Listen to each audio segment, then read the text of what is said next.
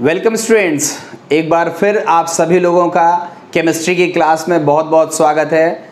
Students आप सभी को पता है कि हम सभी लोग एलेवेंथ क्लास में जिस चैप्टर को पिछले कुछ एक वीडियो से स्टडी कर रहे हैं, उसका नाम है परमाणु संरचना, या जिसको हम बोलते हैं एटॉमिक स्ट्रक्चर एटॉमिक स्ट्रक्चर में आज हम लोग एक बहुत ही इंटरेस्टिंग और एक बहुत ही इम्पोर्टेंट टॉपिक पर डिस्कशन करने वाले हैं। टॉपिक क्या है? उसको हम सीधे क्वेश्चन के फॉर्म में ले लेते हैं कि क्वेश्चन आपसे पेपर में किस तरह से आता है। देखो, आपसे क्वेश्चन पूछा जाता है इलेक्ट्रॉन की द्वैती प्रकृति से आप क्या समझते हैं?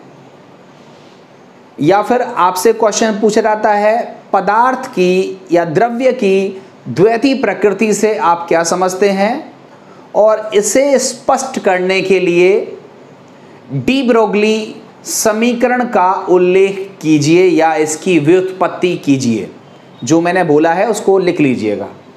एक्चुअली जो इलेवेंथ क्लास का या इवन जब बोर्ड एग्जामिनेशन में रिटर्न क्वेश्चन आता है तो ये बहुत अच्छा क्वेश्चन है। कई बार पूछा जाता है, इस क्वेश्चन को हम कैसे सॉल्व करेंगे?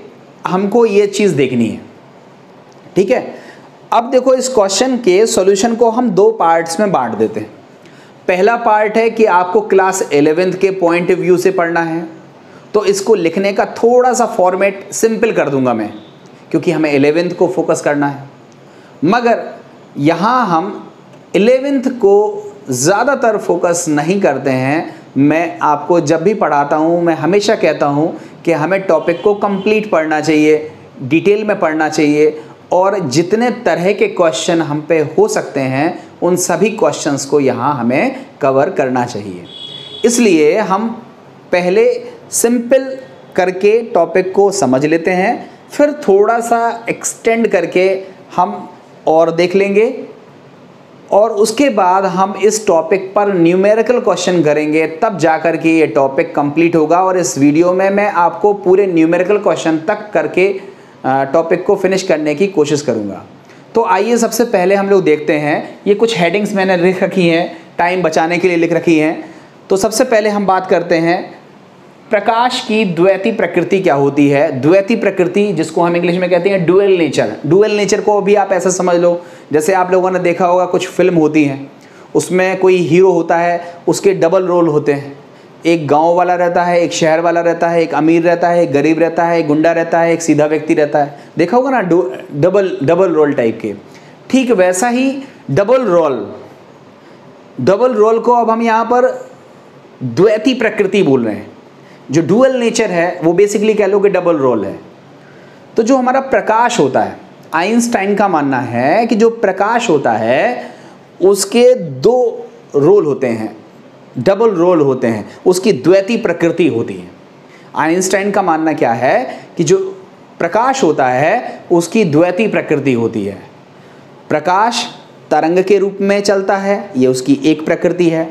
प्रकाश कण के रूप में चलता है, ये उसकी दूसरी प्रकृति है। प्रकाश तरंग के रूप में चलता है। इस बात की पुष्टि करने के लिए हमारे पास दो प्रयोग हैं। एक का नाम है विवर्तन। विवर्तन या जिसको हम इंग्लिश में कहते हैं डिफ्रैक्शन और दूसरे का नाम है व्यतीकरण। व्यतीकरण। जिसको हम बोलते हैं इंटरफेरेंस इन दोनों से ही किस बात की पुष्टि होती है? कि प्रकाश तरंग प्रकृति को प्रदर्शित करता है। तरंग प्रकृति को प्रदर्शित करता है। ठीक है? मतलब प्रकाश का जो नेचर है, वो तरंग की तरह है इस तरह से। ये किस बात से प्रूफ होता है? नंबर एक, विवर्तन से। नंबर दूसरा, व्यतीकरण से। नंबर एक डिफ्रैक्शन से। नंबर दूसरा इंटरफेरेंस से। देखो, विवर्तन अब कुछ बच्चे पूछेंगे इसमें, सर, विवर्तन क्या होता है? सर, व्यतीकरण क्या होता है? विवर्तन और व्यतीकरण आपको सीखने के लिए फिजिक्स पढ़नी पड़ेगी। फिजिक्स में आप लोगों की ये अलग से लेसन के नाम है। विवर्तन क्या है? पूरा लेसन है। व्यतीकरण क्या है? पूरा लेसन है। फिर भी मैं आपको एक हिंट के तौर पर बता रहा हूँ। जैसे एक कोई तरंग चली, उसको हमने किसी सूक्ष्म छिद्र से गुजारा तो हमने देखा कि वो मुड़ गई। जा रही थी सीधी, मगर जब हमने किसी सूक्ष्म छिद्र से गुजारा तो वो अपने रास्ते से थोड़ा सा मुड़ गई। इस प्रोसेस को हम बोलते हैं विवर्तन। देखो, मैं फिर बोल रहा हूँ, मैं यहाँ विवर्तन व्यतीकरण को डिटेल में नहीं ले रहा हूँ, मैं केवल आपको इतने पॉइंट बता रहा हूँ कि जो विवर्तन है, जो व्यतीकरण है, ये वो दो घटनाएँ हैं जिससे हम ये सिद्ध करते हैं कि जो प्रकाश है, वो तरंग प्रकृति में चलता है। अब दूसरा रोल होता है या जो जो दूसरी प्रकृति होती है, वो होती है कण प्रकृति। और कण प्रकृति को प्रूफ करने के लिए हम देखते हैं प्लैंक का क्वांटम सिद्धांत। प्लैंक वैज्ञानिक का नाम है। प्लैंक का क्वांटम सिद्धांत। प्लैंक का क्वांटम सिद्धांत। ये दूसरी थ्योरी है प्लैंक का क्वांटम सिद्धांत, जिसको हम बोलते हैं प्लैंक क्वांटम थ्योरी इसके माध्यम से हम प्रूफ करते हैं कि प्रकाश जो है, प्रकाश कण प्रकृति को, कण प्रकृति को प्रदर्शित करता है। प्रदर्शित करता है। प्रकाश में बेसिकली जो कण हैं, वो छोटे छोटे ऊर्जा के बंडल हैं, जिसको हम क्या बोलते हैं, फोटोन। इसके रिगार्डिंग आप सभी लोगों ने पढ़ा हुआ है प्रकाश वैद्युत प्रभाव। तो प्रकाश वैद्युत प्रभाव बेसिकली प्लैंक का क्वांटम सिद्धांत का ही एक पार्ट है। तो हमसे कभी कभी पूछा जाता है कि प्रकाश विद्युत प्रभाव, प्रकाश के किस गुण की व्याख्या करता है तो याद रखिएगा, प्रकाश विद्युत प्रभाव, प्रकाश की कण प्रकृति की व्याख्या करता है। विवर्तन और व्यतीकरण किस गुण की व्याख्या करता है, तरंग प्रकृति की व्याख्या करता है। इन दोनों को अगर ज्वाइंट वे में देखें तो हम क्या देखते हैं कि प्रकाश की द्वैत प्रकृति होती है, प्रकाश तरंग के रूप में भी चलता है तो प्रकाश कण के रूप में भी चलता है। ऐसा मानना था आइंस्टाइन का। अब जो आइंस्टाइन थे, उनका मानना था प्रकाश को लेकर। एक नए वैज्ञानिक आते हैं, फ्रांस के साइंटिस्ट थे, पूरा नाम था लुइस डे ब्रोगली। ये उसकी इंग्लिश लिखी हुई है लुइस डी ब्रोगली। कभी कभी इसको डे पढ़ते हैं, कुछ लोग डी पढ़ते हैं। मैंने दोनों चीज़ें लिखी हैं, यहाँ लिखा हुआ है डे और आगे लिखा है डी। तो दोनों चीज़ें हैं। पूरा नाम ना लेकर के केवल मैं इतना पढ़ूँगा। डी ब्रोगली या डे ब्रोगली। तो जो फ्रांस के साइंटिस्ट थे, जिनका नाम था लुई डी ब्रोगली, उनका कहना है कि अगर प्रकाश की द्वैती प्रकृति हो सकती है तो ठीक वैसे ही द्रव्य की भी द्वैती प्रकृति हो सकती है। द्रव्य मतलब मैटर की भी द्वैती प्रकृति हो सकती है। मतलब मैटर इट्सेल्फ, वो तो कण के रूप में ऑलरेडी है। भाई, पदार्थ है। पदार्थ के पास द्रव्यमान होता है, द्रव्यमान है मतलब कण है, स्पेस स्थान घिरता है। तो द्रव्य अपने आप में एक कण प्रकृति को तो दर्शा ही रहा है, साथ ही साथ डिब्रोगली कहते हैं कि वो कण प्रकृति के साथ साथ तरंग प्रकृति को भी प्रदर्शित करता है। मतलब द्रव्य की भी दो प्रकृति होती हैं, कण प्रकृति भी होती है और तरंग प्रकृति की भी होती है। तो इस पूरे ओवरऑल प्रोसेस को हम कैसे बोलेंगे, उसको पहले समझिएगा। तो यहाँ लिखेंगे डी ब्रोगली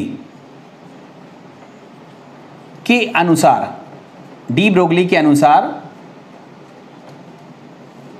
गतिशील सूक्ष्म कण, ध्यान से समझना यह सूक्ष्म कणों पर ही ज़्यादातर लागू होता है। गतिशील सूक्ष्म कण भी द्वैती प्रकृति द्वैती प्रकृति दर्शाते हैं। अर्थात यह कण के साथ साथ तरंग प्रकृति को भी प्रदर्शित करते हैं। प्रदर्शित करते हैं। ठीक है? और ऐसा नहीं है उन्होंने हवा में इस चीज़ को बोल दिया। उन्होंने इस चीज़ को प्रूफ करके दिखाया कि द्रव्य जो है, वो भी द्वैती प्रकृति को दर्शाते हैं, वो भी कण प्रकृति के साथ साथ तरंग प्रकृति को दर्शाते हैं। और ये उन्होंने एक प्रूफ किया प्रूफ करने के समय उन्होंने एक इक्वेशन दी। इस इक्वेशन को हम बोलते हैं डी ब्रोगली का इक्वेशन और वो इक्वेशन क्या होती है? आप याद करिए लेमडा बराबर होता है एच बटे एम इंटू वी या इसको हम बोलते हैं लेमडा बराबर एच बटे पी अब कहाँ से आई ये इक्वेशन अभी हम बात करते हैं। अभी देखो मैंने आपको क्या बताया कि मैं आपको जो टॉपिक पढ़ा रहा हूँ, उसके मैंने दो हिस्से कर दिए।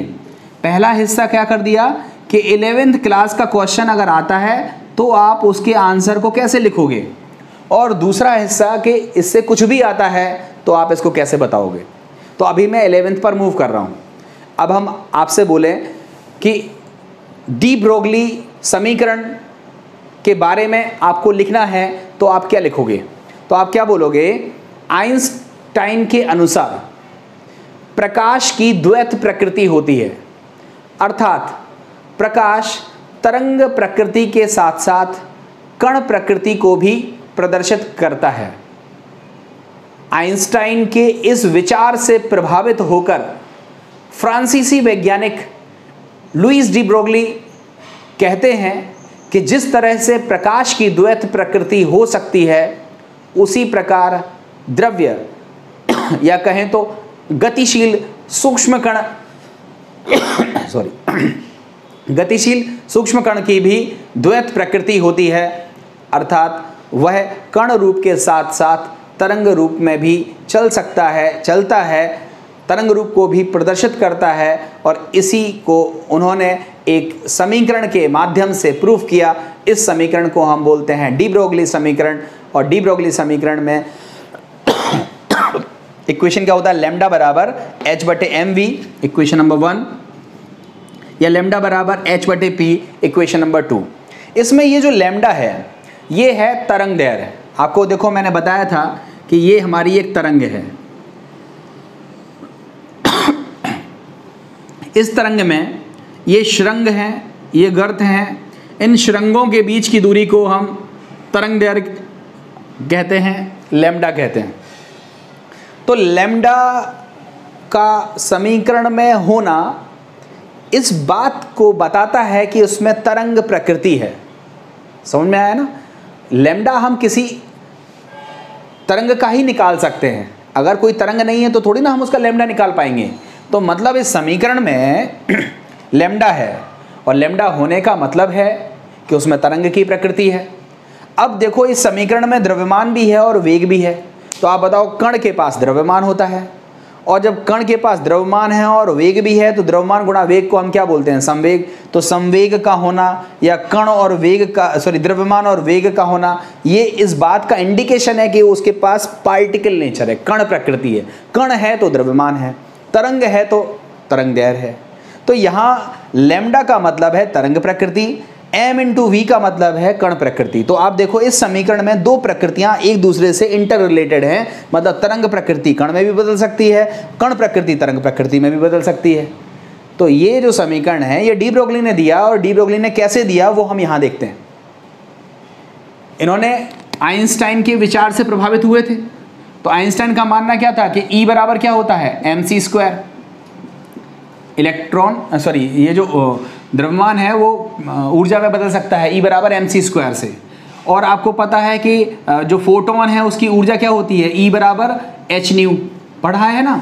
देखो, मैं इसका अलग से वीडियो बना चुका हूँ। जिन्होंने बच्चों ने नहीं देखा है, वो देखेंगे। मैंने फिर बोला है, क्रमबद्धता बहुत ज़रूरी है। जो बच्चे रेगुलर नहीं हैं, उन बच्चों के लिए कैसे सिखाया जाए, मैं नहीं जानता हूँ। अब कोई छोटे छोटे से वीडियो तो बना नहीं रहा हूँ। मैं रेगुलरिटी से आपको सिखाने की कोशिश कर रहा हूँ। तो जिन बच्चों ने ये वीडियो ना देखा हो उन बच्चों से मेरा रिक्वेस्ट है कि इस वीडियो को देख ले। तरंग वगैरह के बारे में मैंने काफ़ी डिटेल में डिस्कस किया है। अगर आपको ढूँढने पर नहीं मिलता है, वैसे तो मिल जाना चाहिए इसी चैप्टर में। अगर आपको नहीं मिलता है तो उसी वीडियो की लिंक मैं डिस्क्रिप्शन बॉक्स में दे दे रहा हूँ। उसको क्लिक करके आप सीधे इस वीडियो को देख सकते हैं। तो फोटोन की जो ऊर्जा है, वो होती है ई e बराबर एच न्यू और ई e बराबर एम सी स्क्वायर ये दोनों आइंस्टाइन के इक्वेशंस हैं। अब आपको बताओ, एक चीज़ और पढ़िए कि जो सी बराबर होता है न्यू लेमडा पढ़ा हुआ है ना? या फिर हम कहें तो न्यू बराबर क्या होता है? सी बटे लेमडा इक्वेशन नंबर चार। अब इस न्यू की वैल्यू मतलब समीकरण चार का मान समीकरण दो में रखो। समीकरण, आप थोड़ा सा इसको सही करिएगा। एक मिनट, मैं थोड़ा सा कर दूँ इसे, दोबारा से कर दे रहा हूँ। देखो E बराबर एम सी स्क्वायर है E बराबर एच न्यू है, समीकरण एक और दो में देखो लेफ़्ट हैंड साइड बराबर है। तो राइट हैंड साइड क्या हो जाएगा? बराबर हो जाएगा मतलब एम सी स्क्वायर बराबर क्या हो जाएगा? एच न्यू ठीक है? इक्वेशन नंबर थ्री हो गया। अब आप बताओ सी बराबर क्या होता है? न्यू लेमडा तरंग समीकरण होता है ना? सी बराबर न्यू लेमडा या फिर इसमें हम बोलते हैं न्यू बराबर क्या हो जाएगा? सी बटे लेमडा अब इस सी बटे लेमडा का मान मतलब न्यू का मान आप समीकरण तीन में रखो। मतलब लिखेंगे समीकरण पाँच का मान समीकरण तीन में रखने पर, समीकरण तीन में रखने पर, रखिए, क्या आएगा? क्या होगा? एम सी स्क्वायर बराबर एच सी बटे लेमडा ये एक सी से एक सी कैंसिल हो गया। तो लेमडा बराबर क्या हुआ? एच बटे एम सी ये समीकरण था प्रकाश को लेकर के। इसी समीकरण को डी ब्रोगली ने क्या कह दिया? कि जिस तरह प्रकाश की तरंग दैर्घ्य मतलब प्रकाश का जो तरंग प्रकृति है और जो प्रकाश की कण प्रकृति है, उनके बीच में जिस तरह से संबंध होता है, उसी तरह से जो द्रव्य है, उसकी जो तरंग दैर्घ्य है, द्रव्य का जो द्रव्यमान है, द्रव्य का जो वेग है, उसके बीच में भी सेम संबंध होना चाहिए। तो उन्होंने इसी समीकरण को इसी समीकरण को मॉडिफाई करके द्रव्य के लिए बनाया, जिसको उन्होंने क्या नाम दिया? डी ब्रोगली समीकरण। कर लोगे? ये पूरी भाषा लिखनी पड़ेगी। कि ये समीकरण यहाँ तक, जो समीकरण नंबर छः था, ये जो समीकरण है, ये प्रकाश को लेकर के था। उसके बाद लिखेंगे, यदि प्रकाश के स्थान पर एम द्रव्यमान का कोई कण विवेक से गतिशील हो तो इस समीकरण छः को डी ब्रोगली समीकरण में परिवर्तित करके लिखा जा सकता है, जिसको हम बोलते हैं समीकरण नंबर सात और समीकरण नंबर आठ, और ये दोनों समीकरण ही कहलाते हैं डी ब्रोगली समीकरण। और इन दोनों समीकरण में लेमडा भी है, पी भी है, लेमडा भी है, द्रव्यमान भी है, इसका मतलब ये द्रव्य की या पदार्थ की तरंग प्रकृति और कण प्रकृति दोनों को रिलेट करता है, और इसी को हम बोलते हैं डी ब्रोगली का समीकरण। कर लोगे इसे? जल्दी जल्दी से रिकॉल करें। हम आपसे पेपर में क्वेश्चन क्या दे रहे हैं कि इलेक्ट्रॉन की द्वैत प्रकृति से आप क्या समझते हो? और इलेक्ट्रॉन की द्वैत प्रकृति को स्पष्ट करने के लिए डी ब्रोगली ने जिस समीकरण का उल्लेख किया, उसका वर्णन करो, उसका डेरिवेशन करो, उसका निगमन करो। तो हम क्या लिखेंगे कि प्रकाश की द्वैत प्रकृति होती है, अर्थात प्रकाश तरंग के साथ साथ कण प्रकृति को भी दर्शाता है। यह मानना था आइंस्टाइन का। आइंस्टाइन के इस विचार से प्रभावित होकर फ्रांसीसी वैज्ञानिक डी ब्रोगली ने बताया कि जिस तरह प्रकाश की द्वैती प्रकृति होती है, उसी तरह गतिशील सूक्ष्म कण भी कण प्रकृति के साथ साथ तरंग प्रकृति को भी दर्शाते हैं, अर्थात उनमें भी द्वैती प्रकृति पाई जाती है। और इस प्रकृति की व्याख्या करने के लिए उन्होंने एक समीकरण प्रस्तुत किया, जिसको हम बोलते हैं डी ब्रोगली समीकरण। डी ब्रोगली समीकरण क्या है? लेमडा बराबर एच बटे एम वी या फिर लेमडा बराबर एच बटे पी। लेमडा क्या है? तरंग है। किसकी तरंग? द्रव्य से निर्मित तरंग है, जिसको हम बोलते हैं द्रव्य तरंगे, या उसको हम बोलते हैं डी ब्रोगली वेव। ध्यान से समझना, प्रकाश की जो तरंग है, वो है विद्युत चुंबकीय तरंग, और जो कण से उत्पन्न तरंग है, वो है मैटर वेव जिसको हम बोलते हैं द्रव्य तरंगे। तो क्या अंतर होता है तरंग में और कण में? ये भी आना चाहिए। और क्या अंतर होता है विद्युत चुंबकीय तरंग में और द्रव्य तरंगों में? ये एडिशनल नॉलेज है जो आपको आनी चाहिए। ये पेपर में आता है तो ठीक है, वरना पेपर में जहाँ तक पूछा जाता है वो मैंने यहाँ करके दिखा दिया। तो इस तरीके से आपको ये करना है। अब जैसे डी ब्रोगली ने बोल तो दिया कि कण गतिशील सूक्ष्म कण की द्वैत प्रकृति होती है। तो बोलने से तो कोई मानेगा नहीं। इन्होंने इसको प्रूफ भी किया। जैसे इलेक्ट्रॉन है तो आपको पता है, देखो इलेक्ट्रॉन का द्रव्यमान कितना होता है? कमेंट बॉक्स में लिखिएगा। इलेक्ट्रॉन का द्रव्यमान फिक्स होता है ना? तो इलेक्ट्रॉन का फिक्स द्रव्यमान है मतलब इलेक्ट्रॉन में अगर फिक्स वेलोसिटी दे दी जाए तो उसका संवेग कैसा हो जाएगा? निश्चित हो जाएगा। इलेक्ट्रॉन के पास द्रव्यमान है मतलब इसका मतलब इलेक्ट्रॉन की कौन सी प्रकृति है? कण प्रकृति है, ये तो आपको पता है। मगर इलेक्ट्रॉन की तरंग प्रकृति भी प्रूफ करी गई, सिद्ध करी गई। कैसे सिद्ध करी गई? देखो, न्यूट्रॉन विवर्तन, ठीक है? न्यूट्रॉन विवर्तित होते हैं। विवर्तन का मतलब है किसी सूक्ष्म छिद्र से गुजारेंगे तो वो मुड़ जाएँगे। इस तरह की कुछ घटना न्यूट्रॉन भी शो करता है, इलेक्ट्रॉन भी शो करता है। तो न्यूट्रॉन विवर्तन की जो घटना है, इससे सिद्ध होता है कि जो गतिशील सूक्ष्म कण होते हैं, वो तरंग प्रकृति को भी दर्शाते हैं। कई नए उपकरण जो हैं, वो इलेक्ट्रॉन की तरंग प्रकृति पर आधारित हैं। उस उपकरण का नाम क्या है? Electron microscope. इलेक्ट्रॉन माइक्रोस्कोप जो उपकरण है, वो इलेक्ट्रॉन की तरंग प्रकृति पर आधारित है। ध्यान रखना तो इलेक्ट्रॉन की तरंग प्रकृति कई वैज्ञानिकों ने प्रूफ करी और इलेक्ट्रॉन इटसेल्फ कण तो होता ही है। मतलब कण भी प्रकृति है, तरंग प्रकृति भी है मतलब इसमें भी दो प्रकृति होती हैं, द्वैती प्रकृति होती है और उन द्वैती प्रकृति में लेमडा बताता है, तरंग प्रकृति और एम भी बताता है, कण प्रकृति। मतलब कहें तो जो तरंग प्रकृति है और जो कण प्रकृति है, वो एक दूसरे के क्या होती है? व्युत्क्रमानुपाती होती है। मतलब कहने का ये हुआ कि यदि हमारे पास कण का मान बड़ा है, काफ़ी बड़ा कण है तो तरंग प्रकृति क्या हो जाएगी? छोटी हो जाएगी, कम हो जाएगी। मतलब कहने का मतलब आप देखो, घरों में बहुत सारा सामान रखा रहता है तो वो कण के रूप में ही तो रखा रहता है। कण का मतलब है मास पार्टिकल जहाँ पर रखा है, वो वहीं पर रखा रहता है। वो क्यों रखा रहता है? क्यों? वो नंबर एक तो वो गतिशील नहीं है, नंबर दूसरा क्या है? वो काफ़ी बड़े हैं। जब बड़े होते हैं तो उनमें कण प्रकृति ही मेजोरिटी में शो करती है। मगर जैसे जैसे पार्टिकल छोटा होता जाता है, उसकी गति बढ़ती जाती है तो हम देखते हैं कि कण प्रकृति तो उसमें घट रही है और तरंग प्रकृति उसमें क्या होने लगती है? बढ़ने लगती है। मतलब कण प्रकृति और तरंग प्रकृति एक दूसरे के क्या होते हैं? व्युत्क्रमानुपाती होते हैं। ये सारा मानना था किसका? डी ब्रोगली का। अब हम जल्दी जल्दी तरंग और कण में अंतर, विद्युत चुंबकीय तरंग और द्रव्य तरंग में अंतर और देख लेते हैं। मैं पॉइंट्स सीधा लिख दे रहा हूँ और जल्दी जल्दी उनको समझा दे रहा हूँ तो आपको ये अंतर समझ में आ जाएँगे। वैसे ये चीज़ आपसे पूछी नहीं जाती है। जो पूछी जाने वाली चीज़ है वो इतनी है, वो मैं बता चुका हूँ। अब हम इन पर जब सवाल करेंगे तो आपको चीज़ें ज़्यादा बेहतर समझ में आएँगी। या फिर ऐसा करता हूँ, चलिए ठीक है।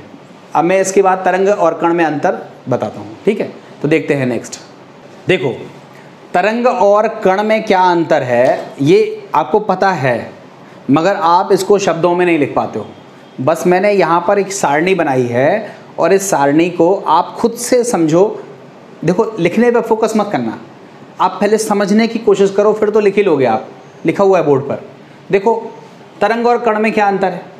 आप ऐसा समझो कि एक तरंग जो है, वो अंतरिक्ष में फैली हुई होती है, जो आय स्थानीकृत होती है। आप खुद से देखो, मोबाइल से आप बात करते हो तो क्या है, बहुत सारी तरंगें हैं, पूरे में फैली हुई हैं। लगातार तरंगें इधर मूव कर रही हैं, उधर मूव कर रही हैं, लगातार गति कर रही हैं, अपनी जगह फिक्स नहीं है, वो लगातार क्या कर रही हैं मूव कर रही हैं। तो देखो यही लिखा हुआ है कि एक तरंग अंतरिक्ष में फैली हुई होती है, जो अस्थानीकृत डीलोकलाइज होती है मतलब लगातार मूव कर रही होती है, स्थिर नहीं होती है। कण में देखो, एक कण की अंतरिक्ष में एक निश्चित स्थिति होती है, जैसे ये पेन है। तो ये एक तरह से कण है, इसकी एक निश्चित स्थिति है अपनी जगह पर रखा हुआ है। एक कण की एक अंतरिक्ष में एक निश्चित स्थिति होती है, जो स्थानीकृत होती है मतलब फिक्स पोजीशन होती है। फ़र्स्ट डिफरेंस है। मतलब तरंग फैली हुई है, आय अस्थानीकृत है, कण की स्थिति निश्चित है स्थानीकृत है, ये फ़र्स्ट डिफरेंस था। दूसरा देखो, एक ही क्षेत्र में दो तरंगें व्यतीकरण कर सकती हैं। व्यतीकरण को आप ऐसा समझो, जैसे हमारे पास एक तरंग है, ये। ठीक है? इस तरंग का ये जो आयाम है ये मान लो ए वन है, ठीक है? ये हमारे पास एक दूसरी तरंग है। इसका जो आयाम है, वो कितना है? ए टू है। अगर दोनों तरंगें माध्यम में एक साथ चलने लगे, जैसे ये है, ये एक वेक्टर है, और इसके आगे एक और वेक्टर है, ये पाँच यूनिट है, ये सात यूनिट है तो दो, पाँच और सात जुड़ जाएगा तो कितना हो जाएगा? नया वेक्टर बनेगा जिसका यूनिट कितना हो जाएगा? बारह यूनिट उसी तरह से जब दो तरंगें एक माध्यम में मिलती हैं तो संभावना है कि इन दोनों से एक बड़ी तरंग बन जाए। या ये भी संभावना है कि इन दोनों के मिलने से एक छोटी तरंग बन जाए। अब कहोगे ये बड़ी तरंग कब बनती है, छोटी तरंग कब बनती है, ये घटना व्यतीकरण में आपको फिजिक्स में डिटेल में सिखाई जाएगी। बस केवल आप इतना समझ लो कि दो तरंगें अगर एक माध्यम में चलती हैं तो वो जुड़कर एक बड़ी तरंग भी बना सकती हैं और छोटी तरंग भी बना सकती हैं। इस घटना को बोलते हैं व्यतीकरण। तो देखो, एक ही क्षेत्र में दो तरंगें व्यतीकरण कर सकती हैं और परिणामी तरंग बड़ी अथवा छोटी हो सकती है। कणों में थोड़ी ना व्यतीकरण होता है, तरंगों में तो व्यतीकरण होता है, कणों में व्यतीकरण नहीं होता है। तो देखो, एक ही क्षेत्र में दो कणों में व्यतीकरण संभव नहीं होता है। ये दूसरा डिफरेंस है। तीसरा देखो, अंतरिक्ष में एक ही क्षेत्र में दो अथवा दो से अधिक तरंगें हो सकती हैं। ठीक है? जैसे आइडिया की तरंगें अलग हैं, जियो की तरंगें अलग हैं मतलब कई तरह की तरंगें हैं, एक ही साथ देखोगे बहुत सारी तरंगें मिक्सअप रहती हैं। हम बोल रहे हैं, हमारी ध्वनि तरंगें अलग हैं, कोई ड्रम बजा रहा है तो उसकी तरंग अलग है। तो कई तरह की तरंगें, सूर्य से आने वाली जो विद्युत चुंबकीय तरंगें हैं, वो भी उसमें मिक्स हो गई हैं। तो हम क्या देख रहे हैं कि ये अंतरिक्ष में एक ही जगह पर कई सारी तरंगें हो सकती हैं। मगर कण, उसकी तो अपनी एक निश्चित स्थिति है। कण ने जो स्थान घेर लिया, उस स्थान पर कोई दूसरा कण थोड़ी ना आ सकता है। आप उसको हटाओगे, तब कोई दूसरा आएगा। तो यहाँ देखो, अंतरिक्ष में एक ही क्षेत्र में दो अथवा दो से अधिक तरंगें हो सकती हैं। और एक कण द्वारा ग्रहण स्थान दूसरे कण द्वारा प्राप्त नहीं किया जा सकता। ये थर्ड डिफरेंस है, तरंगों को गिना नहीं जा सकता, कणों को गिना जा सकता है। ये फोर चार डिफरेंस है। ये डिफरेंस किसमें बताते हैं? तरंग और कण के बीच में। अब हम लास्ट पॉइंट और देख लेते हैं कि विद्युत चुंबकीय तरंग और द्रव्य तरंग जिसको बोलते हैं मैटर वेव्स में क्या अंतर होता है, उसको और देख लेते हैं। देखें, एक छोटा सा टॉपिक और है। यह आना चाहिए आपको। विद्युत चुंबकीय तरंग या जिसको बोलते हैं इलेक्ट्रोमैग्नेटिक वेव और द्रव्य तरंग या जिसको बोलते हैं मैटर वेव में डिफरेंस देखो, इसका डिफरेंस पढ़ने से पहले आप दिमाग में एक चीज़ बना लो कि जो सूर्य से आने वाली विकिरण है, वो है विद्युत चुंबकीय तरंग। दिमाग में बैठा लिया। दूसरा, जैसे हमने कहा कोई कण है है तो वो कण। मगर जब वो गति कर रहा है तो डी ब्रोगली क्या कहते हैं कि कण के साथ साथ उसमें कौन सी प्रकृति आ जाती है? तरंग प्रकृति आ जाती है। तो किसी कण से संबंधित यदि कोई तरंग है तो उस तरंग को हम क्या बोलते हैं? द्रव्य तरंग या जिसको बोलते हैं मैटर वेव क्लियर है? आपने ये दोनों चीज़ें दिमाग में बैठा ली। कण से निर्मित होने वाली तरंग मैटर वेव है और सूर्य से आने वाली जो तरंग है, वो विद्युत चुंबकीय तरंग है। अब वही दोनों जो तरंगे हैं, उनको दिमाग में रखकर ये पाँचों डिफरेंस देखिए तुरंत तुरंत हो जाएँगे। जैसे खुद देखो, आपको मैं इलेक्ट्रोमैग्नेटिक वेव डिटेल में बता चुका हूँ। मैंने आपको फिर बोला है कि जिसमें तरंग दैर तरंग संख्या, ये वीडियो जिसकी डिस्क्रिप्शन बॉक्स में मैंने लिंक भी दे रखी है, आप उसको क्लिक करोगे तो उसमें इलेक्ट्रोमैग्नेटिक वेव को मैंने डिटेल में बताया है। मैंने आपको बताया है कि इलेक्ट्रोमैग्नेटिक वेव में दो तरह के वेक्टर होते हैं। एक होता है इलेक्ट्रिकल वेक्टर दूसरा होता है मैग्नेटिक वेक्टर जो एक दूसरे के लंबवत तरंग के साथ साथ गति करते हैं। तो देखो, पहला लिखा है इलेक्ट्रोमैग्नेटिक वेव या विद्युत चुंबकीय तरंग के लंबवत विद्युत और चुंबकीय क्षेत्र होते हैं। ये इलेक्ट्रोमैग्नेटिक वेव में होता है। मैटर वेव में इलेक्ट्रिकल वेक्टर मैग्नेटिक वेक्टर नहीं होते हैं, या कहें तो मै मैटर वेव में विद्युत और चुंबकीय क्षेत्र से संबंधित नहीं होती हैं। जो द्रव्य तरंगें होती हैं, वो विद्युत और चुंबकीय क्षेत्र से संबंधित नहीं है। मगर इलेक्ट्रोमैग्नेटिक वेव में इलेक्ट्रिकल पार्ट भी है और मैग्नेटिक पार्ट भी है और वो दोनों एक दूसरे के लंबवत होते हैं परपेंडिकुलर होते हैं, ठीक है? दूसरा है इलेक्ट्रोमैग्नेटिक वेव किसी स्रोत से उत्पन्न होती है, जैसे सूर्य है, उससे आने वाला प्रकाश है तो सूर्य से उत्पन्न हो रही है। तो इलेक्ट्रोमैग्नेटिक वेव के लिए किसी स्रोत से उत्सर्जित की जाती है। और ये द्रव्य से रिलेटेड तरंग हैं, द्रव्य गति करेगा तो तरंग होगी, और द्रव्य गति नहीं करेगा तो तरंग थोड़ी ना उत्पन्न होगी। तो इसका मतलब ये द्रव्य से रिलेटेड है मैटर से रिलेटेड है। ये किसी स्रोत से उत्पन्न नहीं हो रही हैं कि ऐसा स्रोत रखा हुआ है और उससे मैटर वेव अपने आप निकल रही है, ऐसा नहीं होता है। जब वो पर्टिकुलर मैटर गति करेगा, तब उसमें तरंगीय गुण आ जाएगा, वो अलग चीज़ है बट अपने आप उससे उत्सर्जित नहीं होती हैं। तो हमने देखा कि विद्युत चुंबकीय तरंगें तो स्रोत से उत्सर्जित होती हैं, मगर जो मैटर वेव होती हैं, वो द्रव्य से संबंधित हैं, द्रव्य कण से संबंधित हैं, ये किसी स्रोत से उत्सर्जित नहीं होती है। तीसरा पॉइंट देखो, सभी इलेक्ट्रोमैग्नेटिक वेव प्रकाश के वेग से गति करती हैं। अब इलेक्ट्रोमैग्नेटिक वेव में कई तरह की वेव होती हैं gamma rays X rays ultraviolet rays infrared rays ये सारे विद्युत चुंबकीय विकिरण के ही भाग हैं और सबका वेग कितना होता है? प्रकाश के वेग के बराबर होता है। मगर मैटर वेव प्रकाश के वेग से नंबर एक तो धीमी गति से चलती हैं। नंबर दूसरा कि इलेक्ट्रॉन से निर्मित तरंग है तो उसका जो आपका वेग होगा वो अलग होगा, न्यूट्रॉन से निर्मित तरंग है तो उसका वेग अलग होगा। तो किसी, सभी द्रव्य तरंगें भिन्न भिन्न वेग से गति करती हैं और इनका वेग प्रकाश के वेग से क्या होता है? कम होता है, ये थर्ड डिफरेंस है।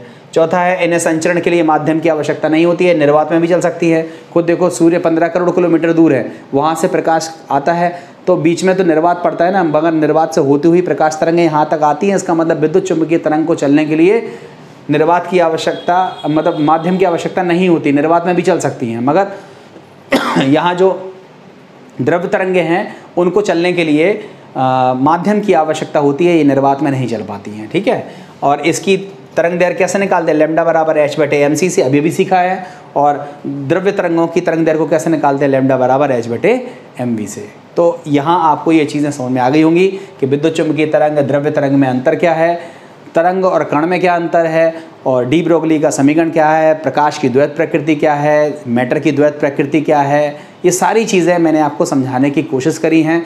आप इतनी चीज़ों को इंटर रिलेट पहले करिए, फिर किताब ज़रूर पढ़िए। मैं आपको फिर बोलता हूँ बार बार कहता हूँ कि किताब ज़रूर पढ़ें। किताब पढ़ने से थोड़ा सा आपको पता चलेगा कि क्या चीज़ बताई जा रही थी, क्योंकि देखो, एक वीडियो में मैं कंसाइज तो कर सकता हूँ तीस पैंतीस मिनट के वीडियो में मैं आपको जल्दी जल्दी चीज़ें बता ही सकता हूँ। सामने बैठ कर के पढ़ना अलग चीज़ होती है और वीडियो में बताना एक अलग चीज़ है। फिर भी मैं पूरी कोशिश करता हूँ कि आपको जितनी चीज़ें बताने की हो सकती हैं ईच एंड एवरीथिंग मैं आपको देने की यहाँ कोशिश करता हूँ। फिर भी आप किताब पढ़ोगे तो आपको और अच्छी चीज़ समझ में आएगी। अब हमें करने हैं इस पर सवाल। अब अगर सवाल को हम इसमें ले लेते हैं तो ये बहुत बड़ा वीडियो हो जाएगा, इसलिए मैं क्या करता हूँ डी ब्रोगली समीकरण पर आधारित पाँच छः सवाल, हम लोग पाँच छः सवाल करते हैं और भी ज़्यादा करेंगे तो उन सवालों को हम सेकेंड वीडियो में कवर कर देंगे तो डी ब्रोगली का ये फ़र्स्ट वीडियो यहाँ पर कंप्लीट होता है। आप ज़्यादा से ज़्यादा दोस्तों तक इसको ज़रूर शेयर कीजिए लाइक कमेंट कीजिए। उम्मीद है आपको ये वीडियो पसंद आया होगा। Thank you thank you very much